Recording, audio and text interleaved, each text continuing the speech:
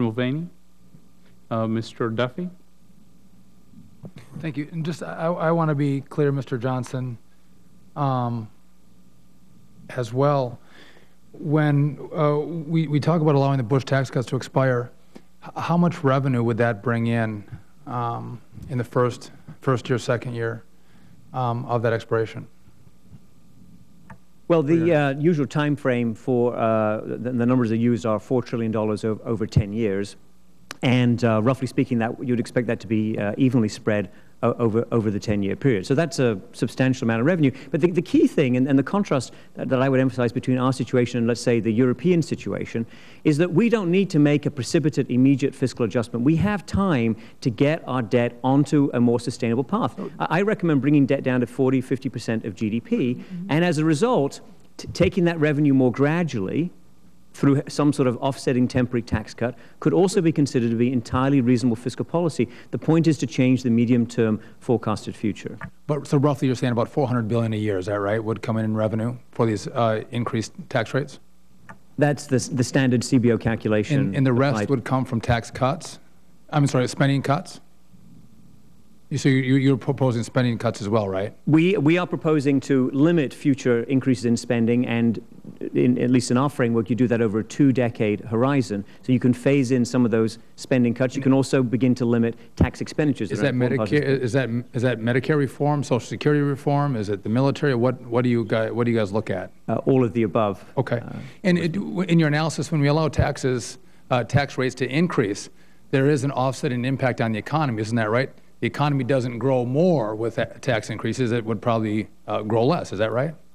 Presumably, look, nobody likes higher taxes, and higher taxes must have some uh, distortive uh, effect. But the question is, how much effect do they have? This is not a high tax country. Th- These are not, we're not, uh, in our experience with these tax rates is not consistent with the view they would cause a, a We only major have three minutes, so, slowdown. but, but you would agree that you raise, you raise taxes, um, and that'll have a slowing effect on the economy? It doesn't grow the economy more, it would grow it less. Increase taxes, yes? Well, actually, in the standard CBO framework, the question is, what's the uh, medium-term picture for the deficit? So if you're cutting taxes and have a larger deficit as a result, that in the CBO framework will actually slow growth because you're crowding out private investment So because is- you're issuing more government debt. Is your- is your testimony then that we, if we raise taxes, we will increase American growth? My testimony is that what you need, as, as the chairman said at the beginning, is a sustainable fiscal future consistent with economic growth.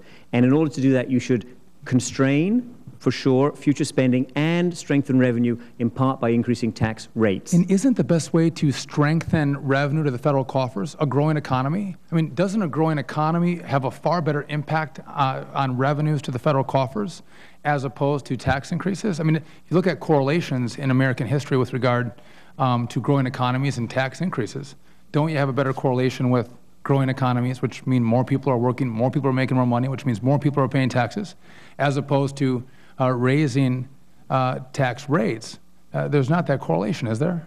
Of course, we want to have economic growth, but as the Europeans have discovered, if you run persistent deficits and you refuse to fund the government on a responsible basis, you get a fiscal crisis. Bond yields go up, private credit contracts. That is the worst possible thing to do for economic growth. And, and, and I would say that we're in a global economy. I think it's changed over the course of the last 10 or 12 years. There's far more competition from India, China, Mexico, Vietnam, Brazil, Canada.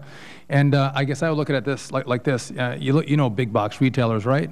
Walmart, Target, Kmart. If you were to advise Kmart today, you would say Kmart has to bring in a little more revenue to keep their stores open. Your advice to Kmart would be to bring in more revenue, you have to raise the price of the goods that you're selling by 2%, 5%. And if you raise your prices of the goods sold, they'll bring in more revenue. But everyone here knows that if Kmart raises its prices, right, you'll see shoppers go to Walmart and Target. If we raise the price of doing business in America, doesn't that also drive business elsewhere in the world? From, from American shores to China, India, Mexico, other parts of the world that are more competitive? Congressman, we certainly have to worry about competitiveness. You're absolutely right. It's a globalized world and the globalized financial markets.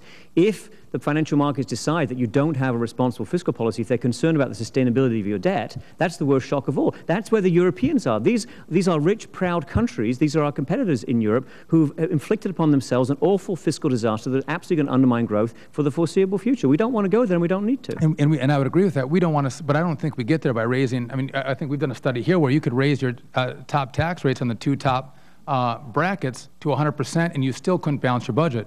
So we think we have to grow our economy uh, number one, and reduce our spending. And then my time is up, and I yield back.